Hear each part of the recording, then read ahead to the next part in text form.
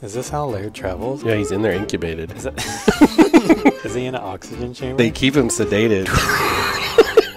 He's just like, wake me up over there. It's just an ice chamber and he's frozen. they freeze him when he goes from his each company cryogenically frozen. just for like 20 minutes. So when he gets there, they have to warm him down. Like, he's like, what, what year is it?